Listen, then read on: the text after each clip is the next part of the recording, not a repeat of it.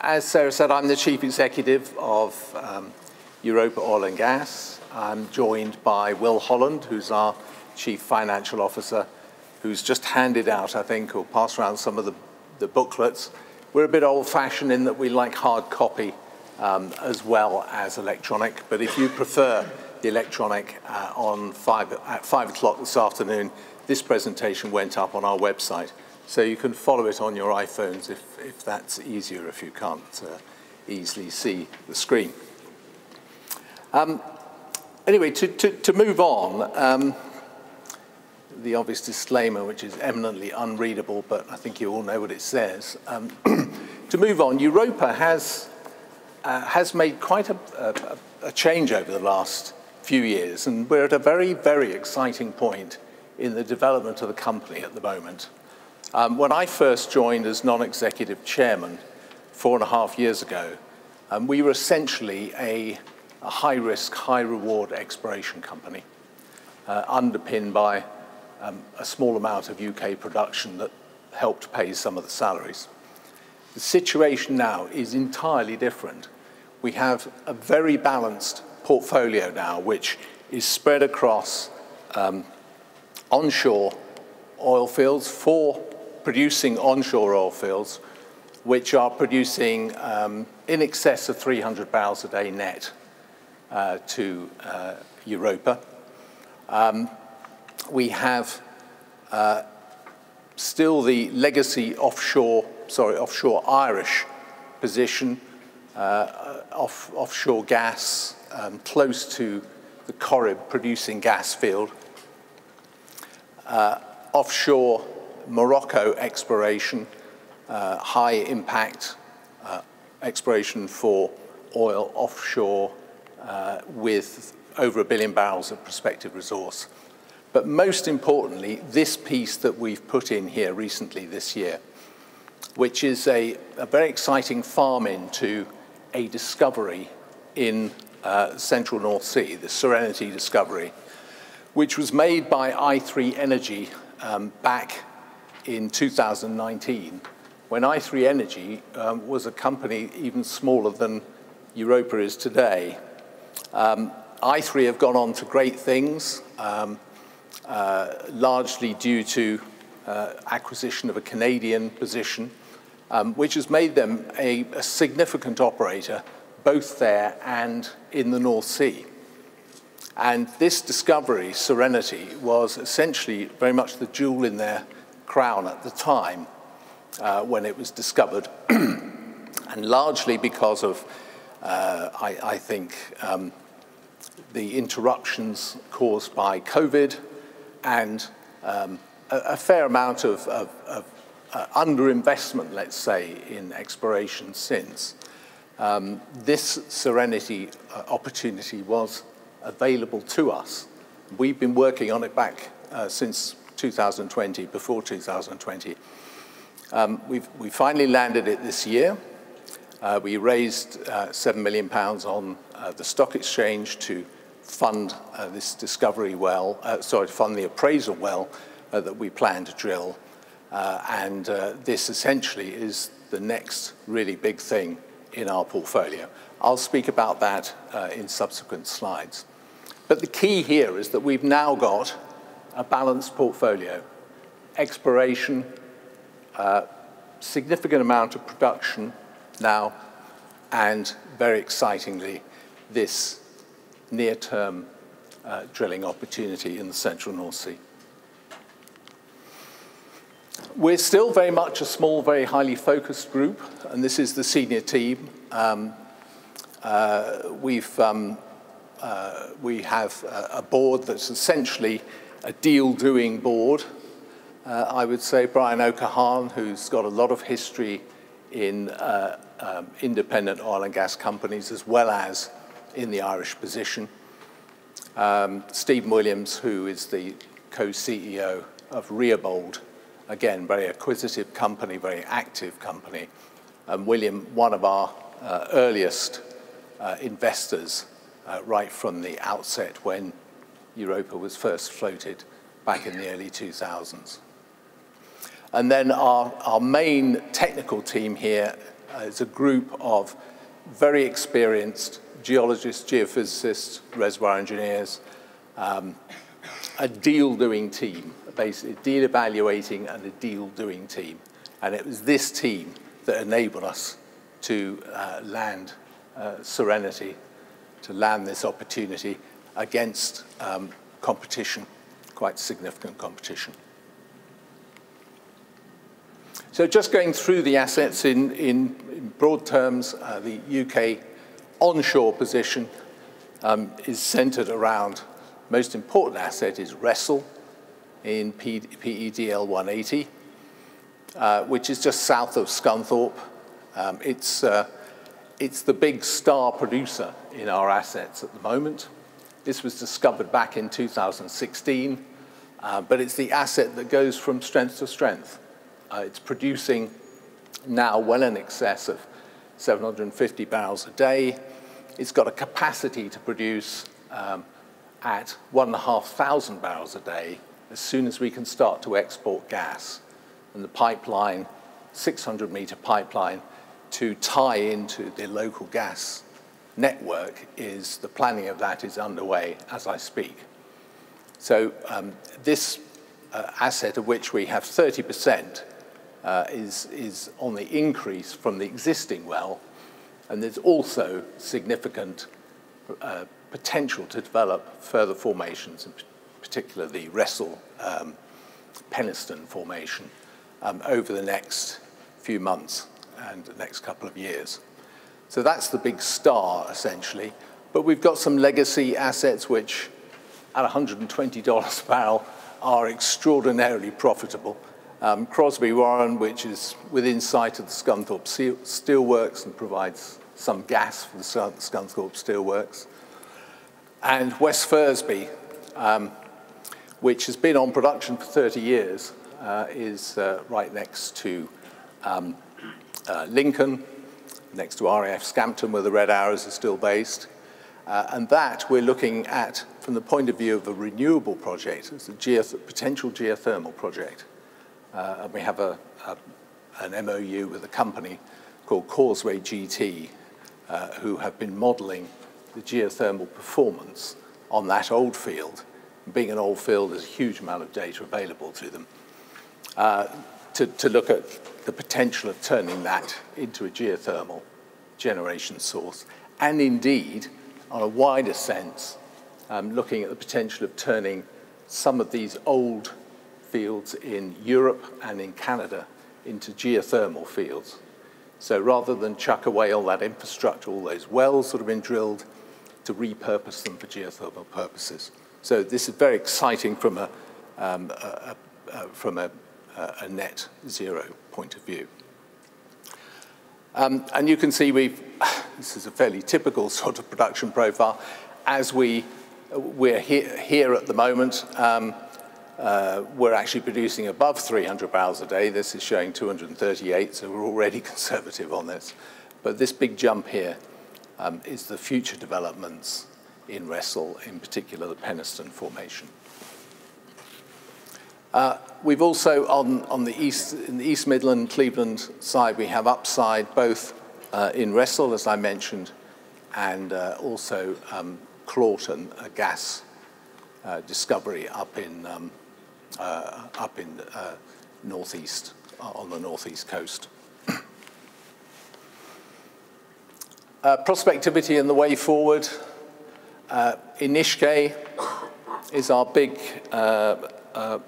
prospect offshore Ireland, one and a half TCF prospect, sitting on adjacent to the edge of the Corrib gas play, Corrib gas field, should I say, which is producing 40% of Ireland's gas at the moment. It's on decline. We've got the prospectivity to keep it uh, on plateau, in fact, to restore it to plateau. Um, and, uh, and, and so that one and a half TCF is sufficient to provide gas to all Irish households for 17 years if we can get it on uh, drilled and on production.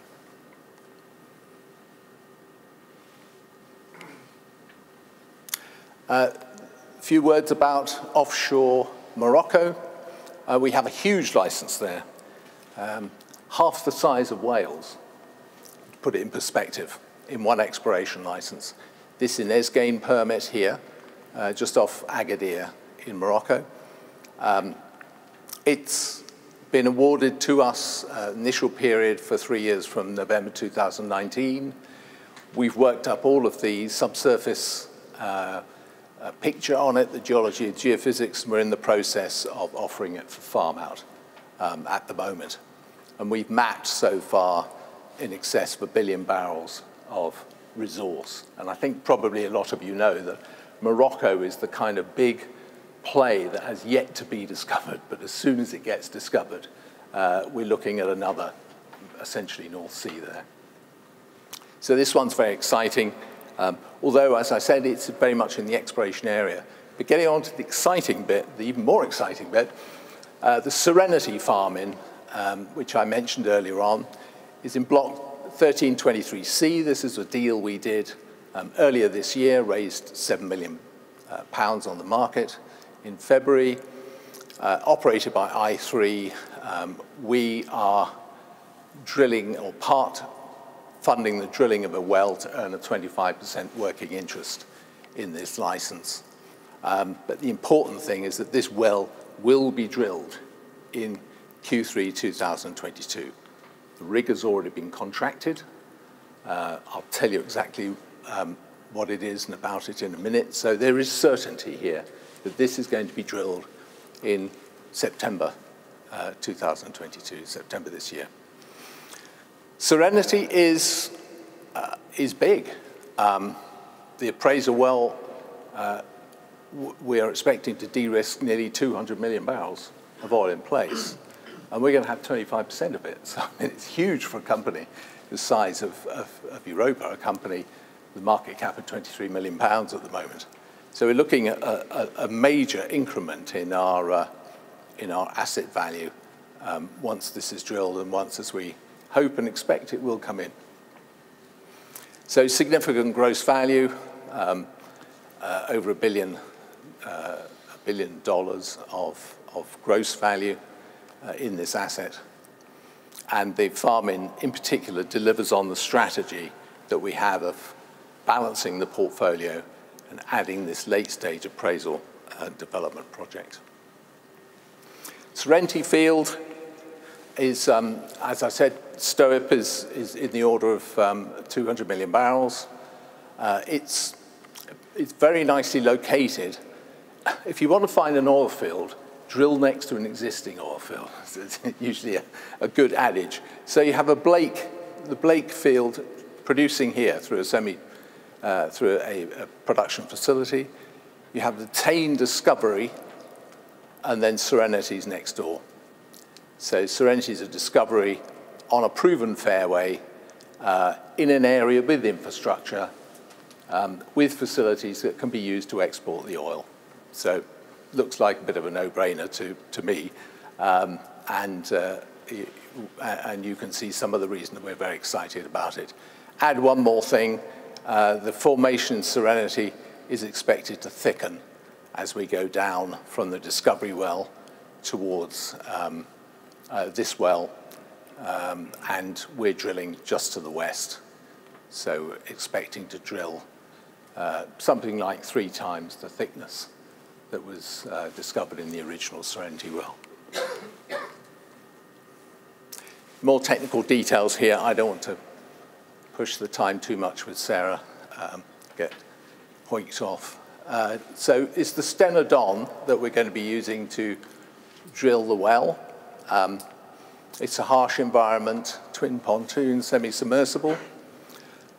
Uh, it's, um, the program will be to uh, drill it under a service, service contract with Petrofac, so it will actually be Petrofac who runs the, the drilling operation, essentially on behalf of the joint venture. Um, exactly the same setup as the original Serenity well when that was drilled. That was drilled by Petrofac.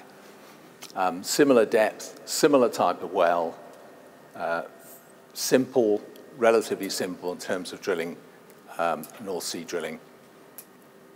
So the long, uh, long lead items have already been ordered. um, and the spud date in the contract is no earlier than 15th of August and no later than 15th of September. Hence why you can see I'm quite confident we're going to spud at the beginning of September. It's a 30-day well, budgeted cost um, $17.5 million, 14 million pounds. And uh, as I said, we will earn 25% uh, uh, through drilling, through paying a promote on this well. A little bit of technical stuff here. Uh, really, the headline here is this is a very similar well, um, uh, very similar, or, or, what we're planning to drill is very similar to the original SA2 discovery well, uh, and similar type of um, equipment and uh, tubulars used, used uh, for, for the drilling of it. The objective is to prove for this uh, September well is to prove, uh, another 130 foot of oil column in the Captain sandstone um, and to drill for a prognosed sand thickness of about 40 feet, which the original discovery well was um, 11 feet, I think. So it's like nearly, nearly four times the original discovery well. And then for development, um, as I mentioned, we've got um, a producing field not far away in Blake. Uh, we have a, a, um, a, a, field under development in Tain. Um, so you can see the chronology here is quite clear. We've got the discovery well uh, for Serenity, the appraisal well that we're planning to drill in September, and possible further development wells coming after that, um, assuming that we can run this play across. And it would be, um, depending on the size, it could be a freestanding, uh, standalone uh, development through a semi-submersible, or um, a production uh, or production through the existing Tain discovery. Incidentally, there are sufficient reserves here, we believe, already discovered for this to be developed.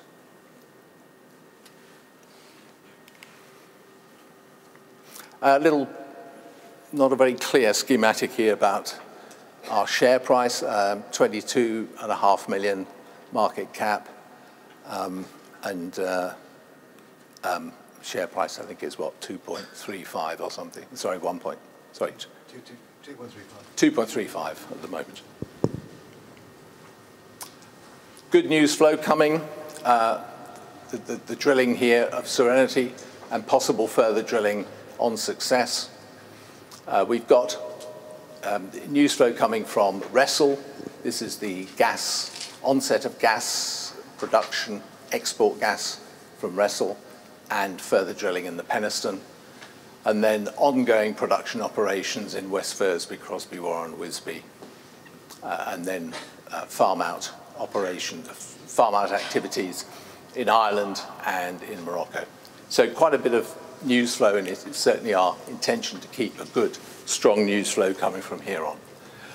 Um, this is a very important slide, which uh, I just will touch on. It's uh, an analysis done of the um, uh, asset values by Tennyson Securities. And the important number here is that based upon uh, the existing producing fields existing developments, the Serenity um, field, uh, Serenity heavily risked, um, they have a pence per share of 7.8 for us now. And that compares to the price that we've just quoted, the 2.35. If you take into account expiration in Morocco and Ireland, we're up to 22 pence a share. So um, there's a lot of upside on our share price existing right now. And that's on fairly, um, fairly reasonable assumptions for Brent oil price uh, going forward. And sensitivity here, um, for those who can't quite read it, um, in, uh, from 2025 onwards at $60 a barrel, we're at seven and a half, 7.3 pence per share. And then up at the up at $90 a barrel, it's 10 pence per share. And of course, we're hovering around 100 at the moment. just final two, three slides on ESG credentials. Um, uh, we are committed towards working uh, towards the UK target net zero by 2050. Uh, we have an ESG uh, strategy and ESG committee uh, which is working towards that um, as all responsible operators would. And our contribution to net zero, zero is this geothermal approach, um, experimentation using Causeway GT, and also the Serenity field um, will be developed in line with um, the NSTA's stated strategy to ensure maximum volumes of oil are recovered from the North Sea in a manner that is compliant with the Secretary of State's uh, goal of meeting net zero target. Um, and finally, this is just a summary of, of, of, of the UK path to net zero uh, 2050. So really, that's all it is. Um, that's what I wanted to say. Important takeaway from here is that Serenity is drilling in September 2022 and that there is significant upside to our market cap uh, based upon that drilling and based upon the assets continuing to perform. Thank you very much. Thank you. So, yes, a round of applause. Gosh, September is a big month for um, two of our companies presenting tonight. I'm quite sure most of the questions will be about Serenity. However, Morocco, you said it might become, it has the potential to become the next North Sea. So how opportunistic that your company has got a foothold in it, a, a small presence. So, politics. Um, the trade envoy to Morocco, Andrew Morrison, was one of the first to resign last night. So, when you heard that, did you care? Did it matter? Because do you need UK government assistance to progress your ambitions in Morocco? Is it important? I think, well, yes, it is important, of course. I mean, every piece of news like that is, but we, we are not reliant upon UK government assistance in Morocco. There's very close ties um, between the countries already, but I suppose most importantly, um, we've been working with uh, ONHYM, ONHYM, uh, for several years, and we have a very close relationship with them directly, um, and as do several other international oil companies. The key thing in Morocco is making that discovery. Um, and I'm very confident that we'll be the ones that do it. Uh, but once that discovery is made, then, as I said, it'll potentially be the next North Sea. There you go. You heard that here first. Yeah. Uh, thank you very much, uh, you know, for your uh, presentation. So, what is your estimates for production from Morocco over the medium term? Well, very difficult because um, that big discovery hasn't been made yet. Um, I, in, in the, the, production in Morocco is all onshore at the moment. Um, there is um, an appraisal project which um, uh, which is being uh, followed offshore at the moment, the Anchois uh, discovery, um, uh, which will bring some gas production. But there are no oil developments underway offshore yet, so it's, it's hard to predict. Um, so you're looking at probably, you know, I should think five years or, uh, or so away before you, uh, before you have any oil production from there. Right, so Will, in the front here, Will Holland, Chief Financial Officer, been in the job for a month now. He's here. What advice has he given you over the past month, and will you take it? Um, well, I've already taken it, actually. We, we've, um, uh, we've worked together very closely on Serenity. Uh, in fact, it was, uh, it was, although you say Will's officially been with us a month, in fact, uh, he and I have been working together since November on Serenity. And it was a combination of actually Will's efforts and small amount my efforts, but the technical team um, that actually delivered Serenity. So uh, I think all the advice he's offered me so far, I've taken it. And that's very largely why we are where we are. Excellent. Right. Questions from the floor.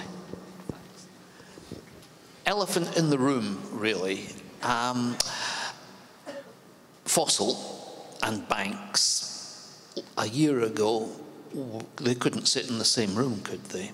You've got a lot to finance, you'll need a lot of money. Are you going to the banks? Are you going to the shareholders? What are you going to do? Well, at the moment, we're, we are debt free. So we're in a good position right now. Um, we have financed through shareholders uh, already the first, uh, the, the, the next appraisal well on Serenity. That's the 14 million quid one. That's the 40 million. That's already in the bank essentially for us. Uh, the large-scale Moroccan and uh, Irish uh, exploration wells would be financed through farm out. So a company would, would come in, pay the cost of, of, of the well, and earn a large share, essentially, of the equity in the license. So the reverse of what we've done with Serenity.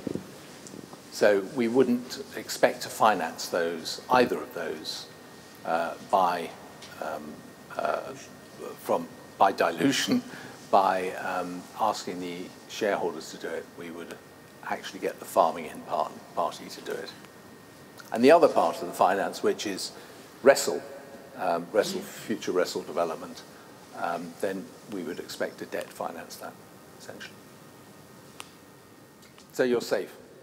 if you can raise the debt. If we can raise the debt.